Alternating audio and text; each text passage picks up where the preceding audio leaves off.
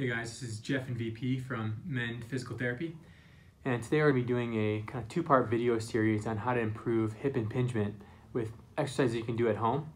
This would be complementing our blog that we recently posted that there was no difference in physical therapy or surgical intervention for patients with hip impingement. So this first video will focus on the mobility of the hip. A great tool you can use at home is an old mountain bike tube. Bike shops are very happy to get rid of these, so you can just grab an old mountain bike tube, Hook it around a pole if you have one. If you don't, I'd put a knot in the end of it, put it into the hinge side of the door, and then close the door towards you. And that'd be the safest anchor at home.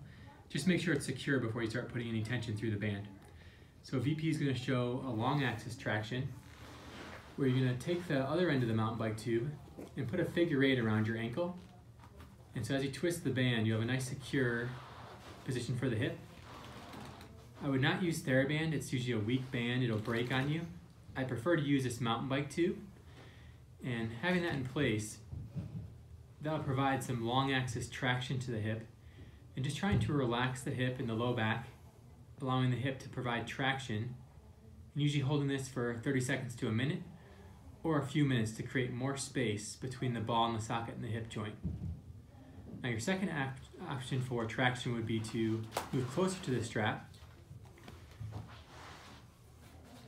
He's going to slip the strap over his thigh as close as possible to the hip joint.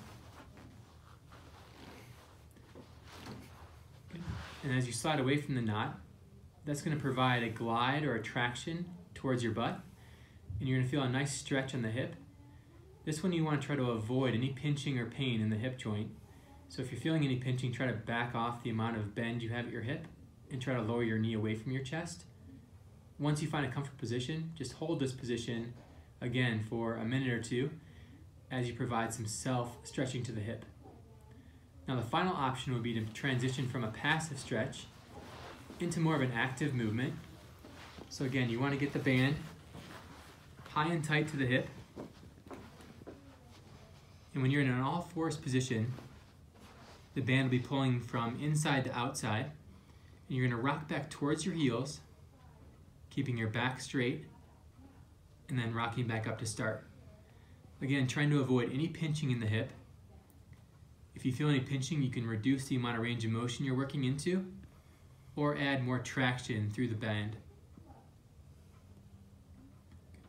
So maintain the curve of your lower back. Try to isolate just hip movement as you bring your butt towards your heels. And I would work this one for about 30 seconds making it an active mobilization for a round two or three for 30 seconds to a minute. So that ends our first part of the mobility series. Stay tuned for the strengthening part in the next video.